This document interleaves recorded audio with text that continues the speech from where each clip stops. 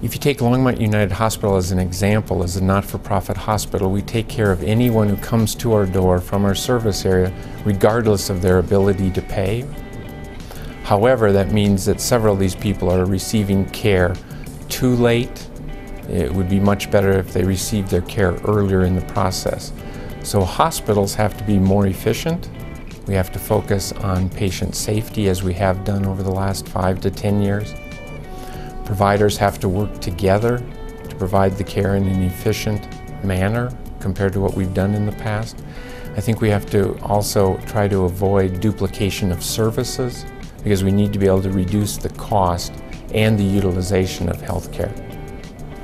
The second piece that's probably equally important is that individuals have to take personal ownership in their own wellness. And that's something that we're working on, but we've not yet accomplished that as a country or even here in Boulder County. I selected healthcare administration principally for two reasons. One, I thought it would be a tremendous challenge to be able to lead a complex organization like a hospital.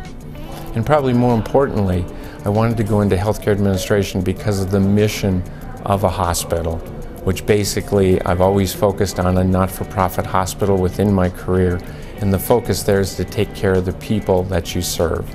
Your main focus is on patient care and on making that person healthier.